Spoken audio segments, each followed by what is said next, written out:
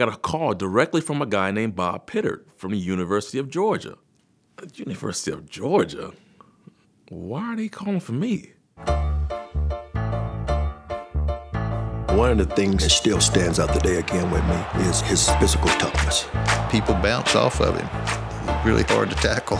When he played the game, Terrell's a mean guy back there. It's like a marriage, you need the perfect fit.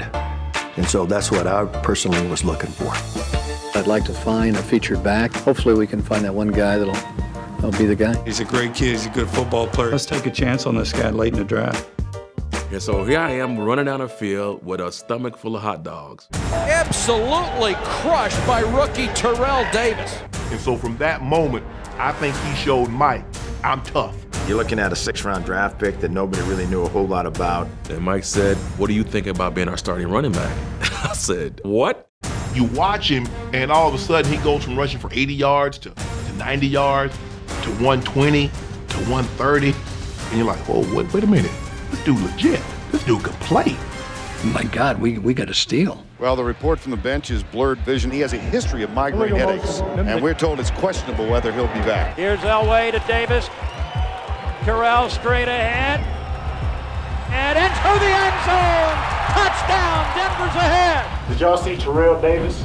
Migraine headache. Come back to play. The boys got heart. If Terrell comes out here and rushes for over 200 yards and gets three or four touchdowns, they don't got to throw me any passes. Elway, handoff, Davis into the end zone, touchdown! Davis takes the toss and runs right, cuts back. TD right now, making a lot of Packers miss. I get kicked. Terrell Davis is on both knees, and this would be bad. And I'm thinking, I just can't believe what's happening. By the time we went back out, I could see. That's the sign of a champ. You're back in the game. That's right. Not only could I see, but I could see in HD. Late in the game, Terrell runs for about 20 yards. Penalty flags in the play as Davis leaps into the end zone. We get a holding call. Mike turns to me and says, run it again. Come on, Chief. Handoff Davis, left side behind Howard Griffith. Nice hold. Davis 50, 10, 5. Davis! Did he get in? No, he's out at the one yard line.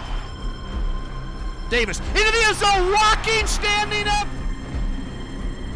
Denver's gonna win it. Oh, baby, they're gonna win this thing. The Broncos have done it.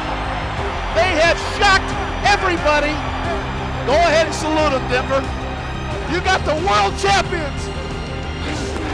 The Broncos and Terrell Davis began the 1998 season on a record-breaking pace. He could have rushed for 2,500 yards that season. We didn't want to get Terrell hurt, but we wanted to get him 2,000 yards. It wasn't his record anymore. It was our record. We're yelling at the sideline. How many does he need? 40? Okay, we're on it. The great ones can make it happen. He needs seven yards. He's behind Elway by himself. He takes the handoff, running left. Terrell breaks a tackle. He's got it. 2,000 yards. And they're chanting, TD, TD. Davis's football life was one surprise after another. My guy has two Super Bowls and a Super Bowl MVP and a 2,000 yard rush season and a league MVP. His numbers aren't the same as Earl Campbell's. His numbers are a little better than Gale Sayers. I don't like to speculate, but this is fact. Without TD, we don't win Super Bowls. That's fact. Go ahead, TD. Let's see that salute one more time.